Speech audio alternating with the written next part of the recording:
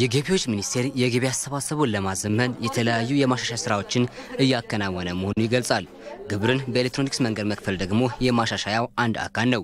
በ22 ግዙፍ የልማት ድርጅቶች የተጀመረው ይህ ዘመናዊ ግብርን የመክፈል መንገድ በኢትዮጵያ ንግድ ባንክ በኩል በሙከራ ደረጃ ከተጀመረ ዓመት ሆኖታል። ኤሌክትሮኒክ ፋይል የማድረግ የመጀመሪያው ሲሆን ሁለተኛው ደግሞ electronically pay የማድረግ ክፍያዎችን የመፈጸም እዚህ ጋር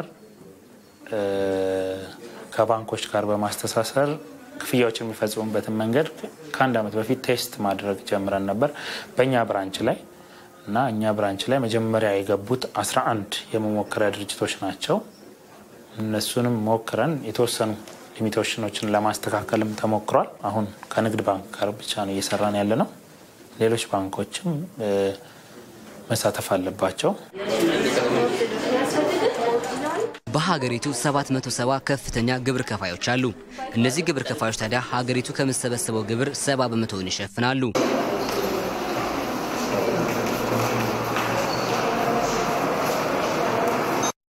በኢትዮጵያ ንግድ ባንክ የ financial ሂሳቦች ዳይሬክተር የሆኑት አቶ ሳምሶን አብዲሳ ለተለያዩ የመንግስት የልማት ድርጅቶች በኤሌክትሮኒክስ ክፍያ ላይ ስልጠና መሰጠቱን ገልጸዋል። ባንኩ አሁን ላይ ክፍያውን እየፈጸመ ያለው በኤሌክትሮኒክስ የክፍያ መንገድ ነው። ይህ ስርዓት መዘርጋቱ ለድርጅቶች ፈጣን የሆነ አገልግሎት እንዲያገኙ ያግዛል ይላሉ።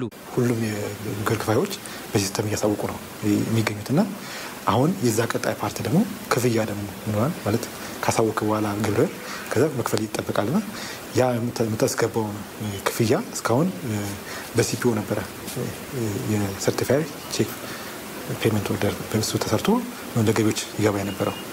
ስለዚህ አሁን ያንን ክፍያ ነው ወደ ኤሌክትሮኒክስ ተደርጎ ቀጥታ በኦንላይን ወደ ሂሳባቸው እንዲገባ የሚያደርግ ስርዓት አቶ አሰግድ አየልህ የኢትዮ ቴሌኮም Chief Finance Officer ናቸው። እሳቸው እንደሚሉት ኢትዮ ቴሌኮም ከፍተኛ ግብርን ከሚከፍሉ የመንግስት ግዙፍ የልማት ድርጅቶች አንዱ ነው። አሁን ላይ የሚከፍለውን ግብር በኤሌክትሮኒክስ የግብር ስርዓት መሆኑ ለኢትዮ ቴሌኮም የራሱን አዎንታዊ አስተዋጽኦ አበርክተዋል ይላሉ። የዚህን በጀት ዓመት የስድስት ወሩን ብናይ ወደ አራት ነጥብ አንድ ቢሊየን ብር ለገቢዎች ከፍለናል። ከዚህ ውስጥ ወደ ሰባ percent የሚሆነውን በ electronic tax payment የፈጸምነው ማለት ነው። በኤሌክትሮኒክ ክፍያ መፈጸም እና በ manual ክፍያ መፈጸም ሊነጻጸር የማይችል ነገር ነው። ለ tax ከፋዩ ቀላል accessible የሆነ system ይሆናል።